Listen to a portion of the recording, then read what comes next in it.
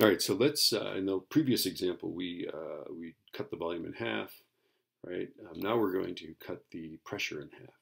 Okay, a constant, in a constant temperature process, to cut the pressure in half, you would have to double the volume, right? Um, so, so, you know, here we have torr and we've got inches, right? Again, the um, height of the, the height of the piston in the cylinder is the proxy for our volume, right? It's eight inches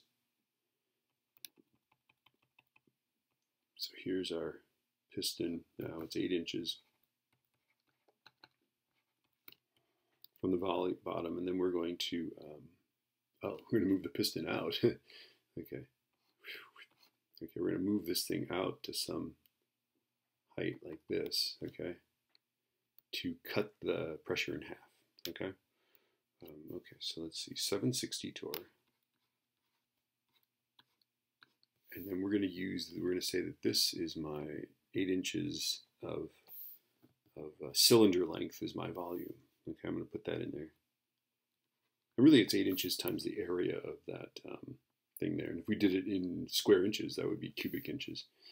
Okay. Okay, and then that equals uh, 380 times however many inches of cylinder that we have here. So we'll just call it X. Okay, so now we're going to figure out how high the piston needs to be. Um, it's going to be higher, but it won't be, uh, what, twice as high. It'll be a little bit less. Okay, so let's go 760 times 8 raised to the parentheses 5 divided by 3 uh, divided by 380.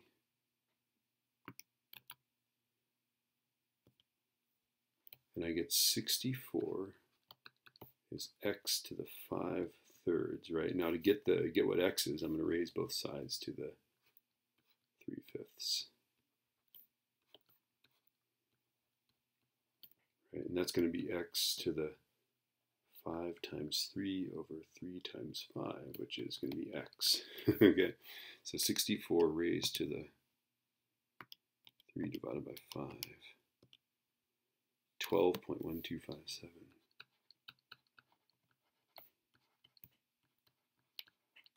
Okay, now let's think about this, right?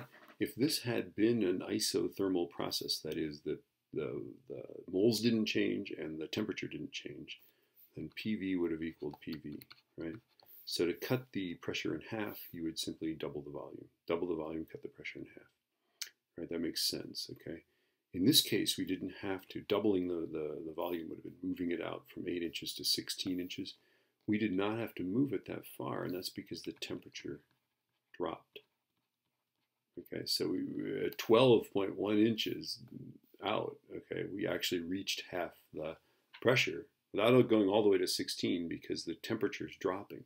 As that piston moves away from the gas, the particles bouncing off that piston come off going slower.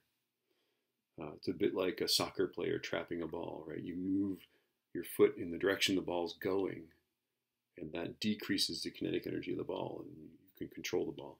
You can, I, I can't. I'm incapable of trapping a ball. But anyway, um, there we go.